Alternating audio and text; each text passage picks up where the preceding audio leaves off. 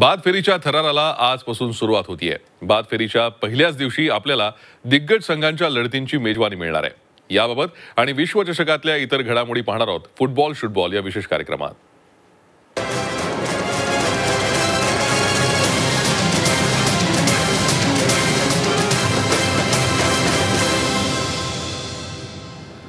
Football विश्वचषकात आजपासून बाद फेरीला सुरुवात होतीये. बाद फेरीत पहिली लढत ही फ्रान्स आणि अर्जेंटिनामध्ये आहे. फ्रान्स आणि अर्जेंटिना संघ यापूर्वी बारा वेळा आमने सामने आले होते. यातील सहा सामन्यांमध्ये अर्जेंटिनानं बाजी मारली आहे तर फ्रान्सनं दोन वेळा बाजी मारली आहे या लढतीत अर्जेंटिनाच्या लिओनेल मेसीवर पुन्हा एकदा प्रचंड दडपण असेल. मेसी खेरीज Banega Gabriel Mercado Javier Mascherano Marcos Acuna निकोलसवर अर्जेंटिनाची भिस्त असेल. तर फ्रान्सच्या सॅम्युअल गुमतिती याच्या तंदुरुस्तीमुळे संघातील त्याच्या स्थानाबाबत अजूनही अनिश्चितता आहे. Hugo Lloris Kylian Mbappe Paul Pogba आणि लुकासवरती फ्रान्सच्या आशा असतील.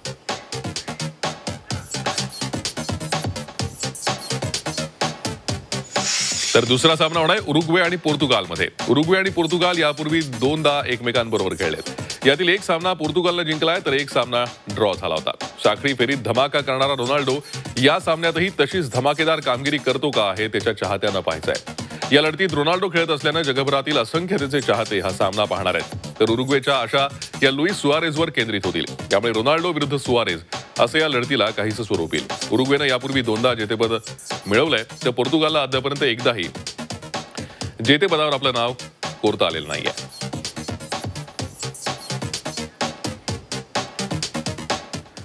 पोर्तुगाल आणि उरुग्वे या लढतीत रोनाल्डो आणि सुआरेस या दोघांवर नजरा खेळणार आहेत. या लढतीला एक प्रकारे रोनाल्डो विरुद्ध सुवारेज असं स्वरूप प्राप्त होणार आहे. आता या मातब्बर खेळाडूंमध्ये कोणता खेळाडू आपल्या कामगिरीच्या जोरावर आपल्या संघाला विजय मिळवून देतो हे पाहणं रंगतदार ठरणार आहे. क्रिस्टियानो रोनाल्डो पोर्तुगालचा अव्वल स्ट्रायकर. लुईस सुवारेज उरुग्वेचा अव्वल स्ट्रायकर.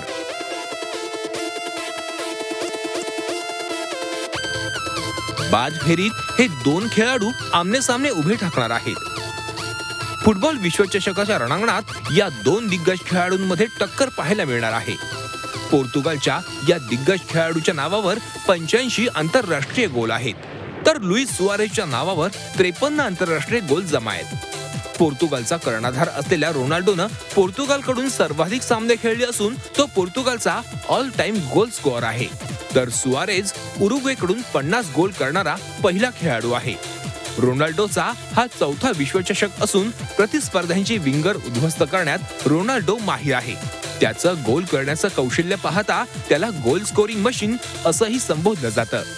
तर उरुग्वेच्या सुवारेजचा हा तिसरा विश्वचषक असून प्रतिस्पर्ध्यांच्या बचावफळीला आपल्या आक्रमक शैलीनं तो अनेकदा अडचणीत आणतो. त्याच्या खेळाच्या शैलीवर कुणाचाही प्रभाव नाही हे विशेष. रोनाल्डो आणि स्वारेज या दोघांनीही आतापर्यंत खेळलेल्या विश्वचषकात प्रत्येकी सात गोल आहेत. आता विश्वचषकातील आपल्या गोल्सची संख्या कोण वाढवतं आणि आपल्या खेळीनं आपल्या संघाला उपांत्यपूर्व फेरी कोण गाठून देतं याकडे तमाम जगाचं लक्ष लागून राहिलंय bureau report Zee media Mumbai. आणि आता आपण या संदर्भात अधिक चर्चा करणार आहोत. आपल्यासोबत आशिष पेंडसे आहेत विवाह फुटबॉल मासिकाचे संपादक. आशिष स्वागत. काल आपण जशी चर्चा केली होती आजच्या या बाद फेरीच्या पहिल्याच दिवशी एक जबरदस्त पर्वणी फुटबॉल रसिकांना फुटबॉल प्रेमींना मिळणार आहे. आणि त्यातली पहिली लढत फ्रान्स विरुद्ध अर्जेंटिना जबरदस्त होणार आहे. अर्जेंटिनाकडून अर्थातच मेसीवरती सगळ्यांचं लक्ष केंद्रित होईल. फ्रान्सकडनंही ग्रिस्बन ग्रिस्बन जसं आहे त्याचबरोबर अनेक इतर खेळाडू आहेत ज्यांच्यावरती आज फ्रान्सची मोठी भिस्त असेल. कसं पाहता या मॅचकडे आणि या दोन्ही संघांच्या एकूणच रणनीतीबाबत तुम्ही काय सांगाल?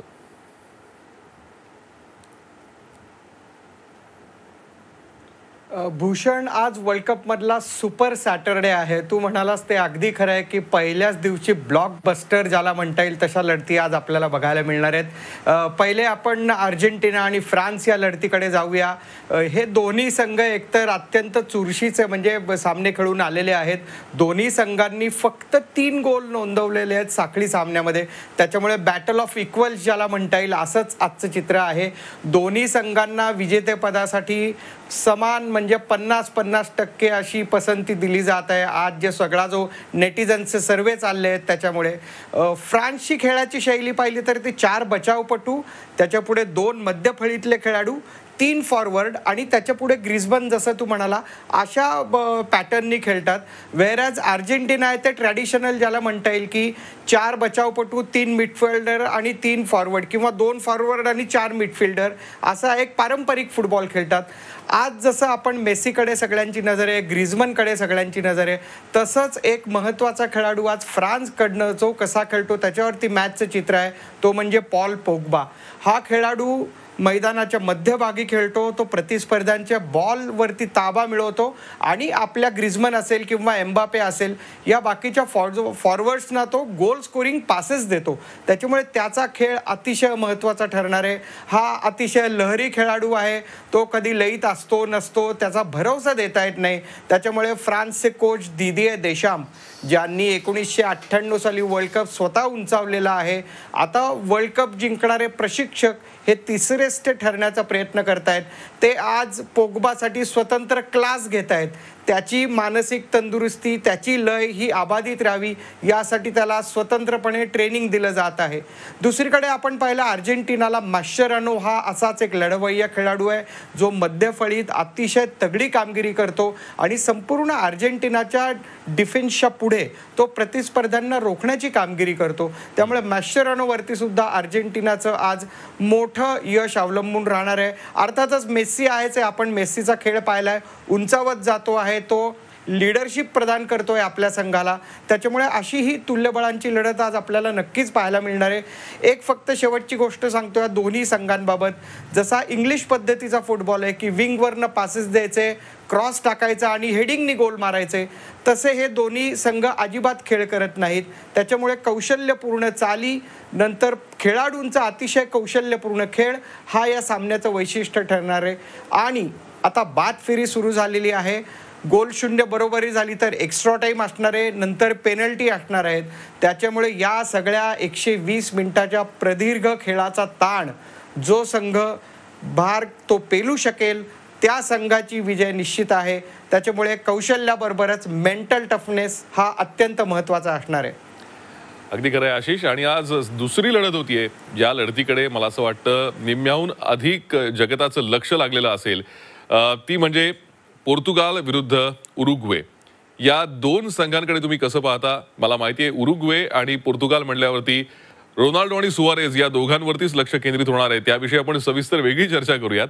पण या दोन संघांच्या रणनीती रणनीतीविषयी सुरुवातीला आम्हाला सांगाल.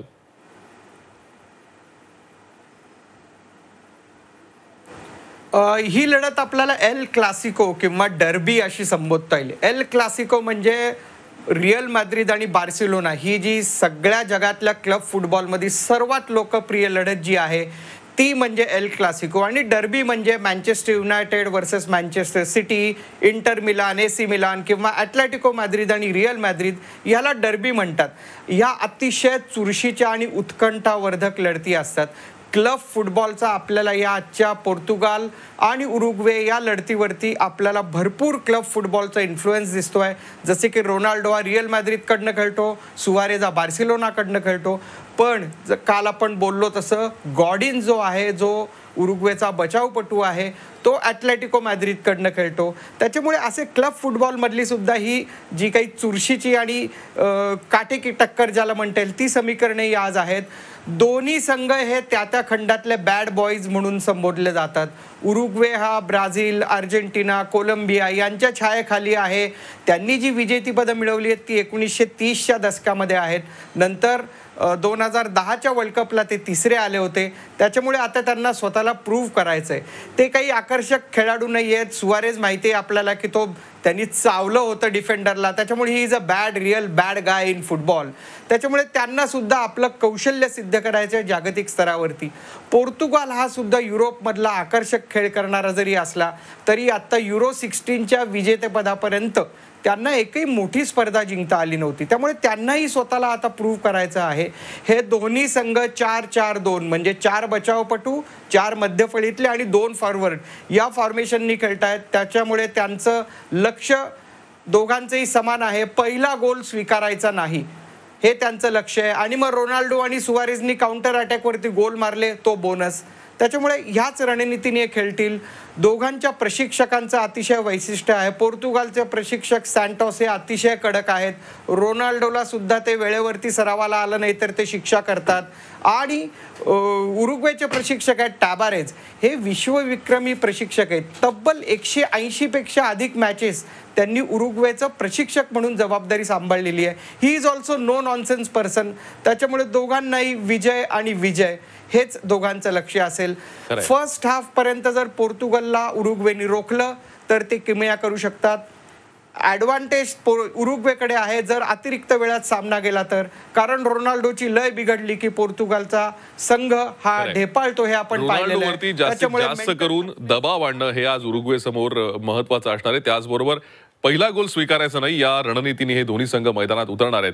आशिष आपण उरुग्वे आणि पोर्तुगाल बरोबरच आता सुवारेज आणि रोनाल्डो यांच्यावर चर्चा करूयात. मात्र त्यापूर्वी आज ज्या लढती होत आहेत त्या नेमक्या कोणत्या आहेत ते आपण आधी प्रेक्षकांना सांगूयात पुन्हा एकदा. आज बाद फेरीतली पहिली लढत होतीये ती फ्रान्स आणि अर्जेंटिनामध्ये. संध्याकाळी साडेसात वाजता ही लढत सुरू होणार आहे. तर दुसरी लढत असणार आहे उरुग्वे विरुद्ध पोर्तुगाल. रात्री साडे अकरा वाजता ही उत्कंठा वाढवणारी दुसरी लढत बाद फेरीतली होणार आहे. आशिष जसं आपण कालही म्हणत होतो की आजचा पहिलाच दिवस हा जबरदस्त आहे बाद फेरीतला तीन महत्त्वाचे खेळाडू खरं तर आज प्रमुख आकर्षणाचा विषय असणार आहे किंवा ज्यांच्यावरती आज लक्ष केंद्रित होणार आहे. मात्र आज दोन जे महत्त्वाचे खेळाडू एकमेकांना भिडणार आहेत ते म्हणजे सुवारेस आणि रोनाल्डो. एकीकडे रोनाल्डो हा कौशल्यपूर्ण खेळ करणारा खेळाडू म्हणून ओळखला जातो त्या दुसरीकडे जसं तुम्ही म्हणालात सुवारेज हा बॅट बॉय म्हणून ओळखला जातो या खेळामध्ये. पण आज एकूणच या दोघांबरोबरच या सामन्यामध्ये अनेक नाट्यमय घडामोडी घडू शकतात म्हणजे रडीचा डाव सुद्धा खेळला जाऊ शकतो. अगदी अगदी. अगदी नक्कीच. म्हणजे रोनाल्डो आपण बघितलं तर चित्त्याच्या चपळाईने तो आक्रमण करतो. त्याचा स्पीड जो आहे तो चौतीस किलोमीटर पर आवर या वेगाने तो धावतो. बॉल बरोबरही तो तितक्याच वेगाने पुढे जातो. तो तीन मीटर एवढी उंच उडी मारून तो बॉल हेडिंग करू शकतो. त्यांनी मारलेली बायसिकल किक आपण चॅम्पियन्स लीगमध्ये बघितलीच आहे. तो दोन्ही पायांनी जोरदार फटके मारू शकतो. त्याच्यामुळे रोनाल्डो खेळत असेल की त्याच्याकडनं एक गोल हा निश्चितच आहे.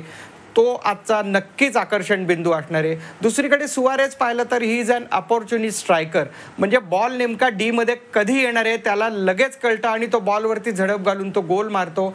तो काही आकर्षक खेळाडू नाही आहे आपण पाहिलं तसं त्यांनी काही चावेसुद्धा घेतलेले आहेत. आणि असा काही तो धसमुसळा तो खेळ करतो. पोर्तुगालचा जो बचावपटू आहे पेपे ज्याच्यावरती पोर्तुगालच्या बचावाची भिस्त आहे त्याला तो कधी कोपर मारेल किंवा कधी त्याला काही थोडे जरा प्रेमाचे शब्द बोलेल जे करून पेपेची लय बिघडेल हे काम आज सुवारेसकडे क करणार आहे तो. आणि बॉलपेक्षाही बॉल बा व्यतिरिक्त असं त्यांनी जर लय विचलित केली पोर्तुगालच्या बचावाची तर कवानी गोल मारेल. ही सुद्धा त्यांची एक वेगळी रणनीती आहे. साम दाम दंडभेद वर्ल्ड कपची आज नॉकआउटची मॅच आहे. कुठल्याही परिस्थितीत ती जिंकायचीच आहे. त्याच्याच जोडीला आपण बाकीचे जे खेळाडू पाहिले तर पोर्तुगालकडनं अटॅकिंगला अजून दोन खेळाडूंची जर चांगली साथ रोनाल्डोना मिळाली तर रोनाल्डोचा खेळ अजून उंचावेल. जसं नेमारला कुटिनिओची साथ मिळालेली आहे तशी जर रोनाल्डोला मिळाली तर त्याचं प्रेशर कमी होईल आणि तो त्याचा नैसर्गिक खेळ करू शकेल. त्याच्यामुळेच हा सांघिक खेळ आहे. या दोन खेळाडूंवरती जरी लक्ष केंद्रित असलं तरी सुद्धा इतरही खेळाडूंना त्यांचा वाटा नक्कीच उचलावा लागेल. खरं आहे आशिष पोर्तुगालला या वर्ल्ड कपमध्ये विशेषतः रोनाल्डोला वर्ल्ड कप जिंकायचा आहे आणि त्या उद्देशानं पोर्तुगालचा संघ या स्पर्धेत स्पर्धेत उतरलाय. ही एक चांगली संधी पोर्तुगालला असं वाटतं?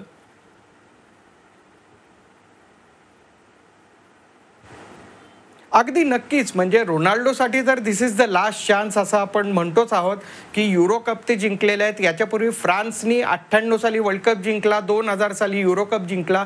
तीच संधी की संघ भरात आहे. संघाला एक विजय मिळवण्याची एक त्यांना एक हवी हवीशी वाटणारी ती भावना निर्माण झालेली आहे.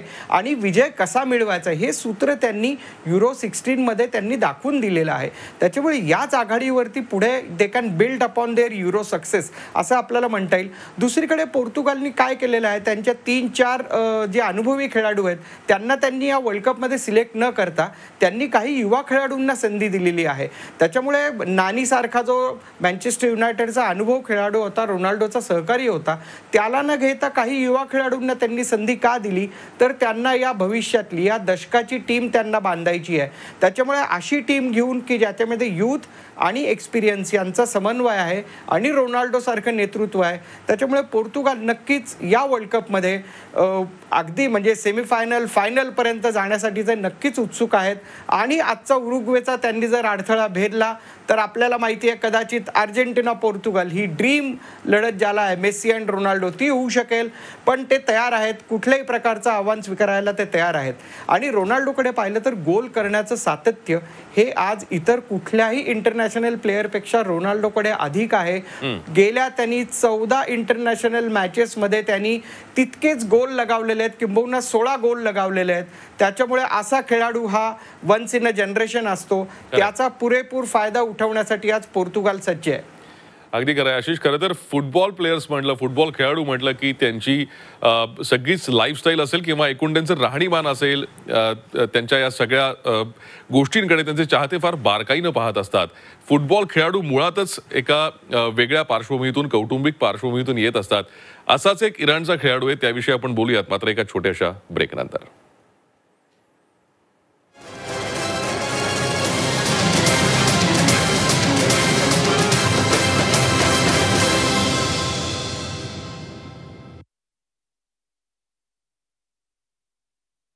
फुटबॉलच्या मैदानावर आपल्या जबरदस्त कामगिरीच्या जोरावर अनेक खेळाडू पैशांच्या राशीत असतात मात्र काही फुटबॉल खेळाडूंची पार्श्वभूमी ही खूप गरीब असते. इराणचा गोलरक्षक अलिरेज बेरनवंद असाच एका गरिबीतून इथवर पोचलेला खेळाडू. पाहुयात अलिरेजची ही प्रेरणादायी कहाणी. अलिरेज बेरनवंत इराण संघाचा गोलरक्षक. पंचवीस वर्षे अलिरेजनं फुटबॉल विश्वचषकात क्रिस्टियानो रोनाल्डोचा गोल अडवण्याचा प्रयत्न केला आणि तो प्रकाश झोतात आला. याखेरीज स्पेन आणि मोरोकोचे गोलही त्यानं लिलया अडवले मात्र इथवर पोहोचण्यासाठी अलिरेजनं खूप संघर्ष केलाय.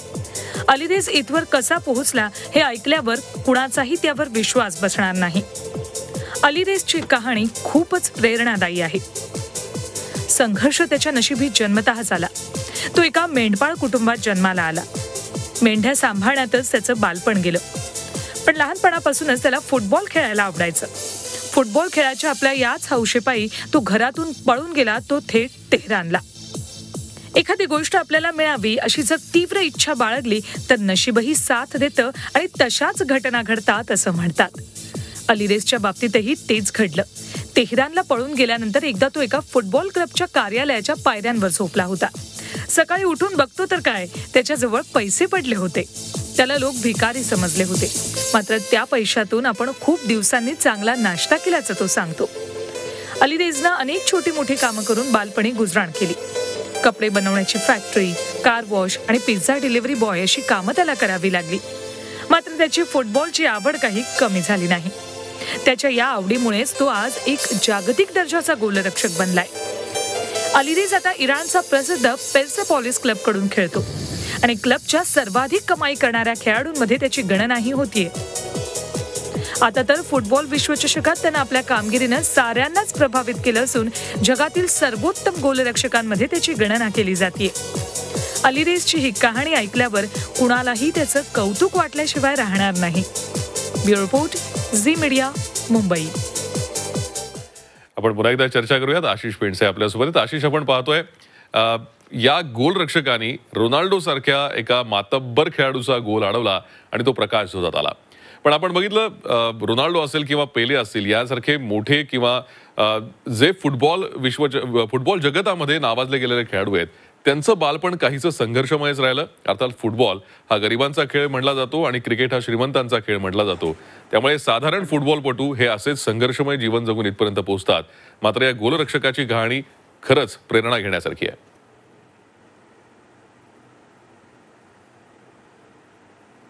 अगदी नक्कीच. आणि म्हणूनच फुटबॉल हा इन्स्पिरेशनल खेळ म्हणून ओळखला जातो ब्युटिफुल गेम म्हणून ओळखला जातो. अशा प्रकारे फुटपाथवरती जीवन कंठणाऱ्या लोकांना आज वर्ल्ड स्टार बनवण्याची किमया फुटबॉलनी केलेली आहे. तू पेलेचा उल्लेख केला एकोणीसशे अठ्ठावन्न साली जेव्हा पेले पहिला वर्ल्ड कप खेळायला गेला तेव्हा त्याच्याकडे अंगावरती घालायला कोटही नव्हता. त्याच्या आईने त्याच्या वडिलांचा कोट अल्टर करून तो पेलेच्या मापाचा बनवून दिला आणि पेले वर्ल्ड कपमध्ये गेला. आणि पुढे रेस्ट इज द हिस्ट्री आपण ज्याला म्हणतो. मॅराडोना सुद्धा एका चिंध्यांचा बॉल खेळून तो अर्जेंटिना ब्युनॉस आयर्सच्या तिथे फुटपाथवरती फुटबॉल खेळायला लागला होता. रोनाल्डो आज जो एक ग्लोबल ब्रँड आहे त्याच्या वडिलांच्या मृत्यूनंतर त्याच्या आईनी केवळ आपल्या मुलाला वर्ल्ड फुटबॉलर बनवायचं या ध्येयाने अतिशय कष्टप्रद आयुष्य जिंकू क- आयुष्य व्यतीत करून आज रोनाल्डोला या पदापर्यंत आणलेलं आहे. जगातली सगळे त्यांनी अवॉर्ड जिंकलेले आहेत. आणि आपल्याकडे म्हणजे युरोप कशाला आपल्याकडे नॉर्थ ईस्टचे जे फुटबॉल प्लेयर आहेत की जे आज आता क्रेडल ऑफ इंडियन फुटबॉल ज्यांना म्हटलं जातं ते सुद्धा अतिशय दुर्गम परिस्थितीतनं येऊन पण प्रचंड निर्धार आणि अतिशय खडतर प्रयत्न करण्याची तयारी याच्या जोरावरती आज ते भारतीय संघात आलेले आहेत. मग तो बायचुंग भुती असेल आजचा जे जे असेल किंवा अंडर सेवन्टीन जो वर्ल्ड कप खेळलेला आपला गोलरक्षक आहे आणि त्याचे सगळे सहकारी आहेत ते अतिशय खडतर परिस्थितीतनं आलेले आहेत. आपला अनिकेत जाधव महाराष्ट्राचा जो आत्ता अंडर सेवन्टीन वर्ल्ड कप खेळला. त्याचे वडील रिक्षा चालक आहेत. एका पत्र्याच्या घरातनं त्याची ही फुटबॉलची स्वप्नमय यात्रा सुरू झाली. त्याच्यामुळे फुटबॉल हा नक्कीच अशा प्रकारच्या कुठल्याही परिस्थितीतनं आलेल्या खेळाडूंच्या कौशल्याला वाव देतो. त्यांना या ॲस्पिरेशन म्हणजे जीवनात यशस्वी होण्याची संधी देतो. आणि म्हणूनच फुटबॉल हा जगातला क्रमांक एकचा खेळ ठरलेला आहे. आणि अशाच प्रेरणादायी कथांनी याच्या पुढचे फुटबॉलपटू घडत असतात. आणि पुढचा वर्ल्ड कप सुद्धा रंगतदार करण्यासाठी ते सज्ज होत असतात. अगदी खरं आहे. आशिष धन्यवाद ही सविस्तर चर्चा आज केलीत. त्याबद्दल उद्या पुन्हा भेटूयात आणि या दोन महत्त्वाच्या लढतींचे निकाल लागलेले असतील उद्या त्यावरती आपण चर्चा करूयात. आज होणाऱ्या लढतींवरती पुन्हा एकदा नजर टाकूयात. आज बाद फेरीच्या दोन महत्त्वाच्या लढती होत आहेत. त्यातली पहिली लढत होतीये ती अर्जेंटिना आणि फ्रान्समध्ये. संध्याकाळी साडेसात वाजता ही लढत होणार आहे. तर बाद फेरीतली दुसरी लढत होणार आहे. ती आज उरुग्वे आणि पोर्तुगाल यांच्यात रात्री साडे अकरा वाजता. आणि यानंतर फुटबॉल शुटबॉलमध्ये आज इथेच थांबतोय त्याच्या बातम्यांसाठी. आपण पाहत राहा झी चोवीस तास. रहा एक पाऊल पुढे.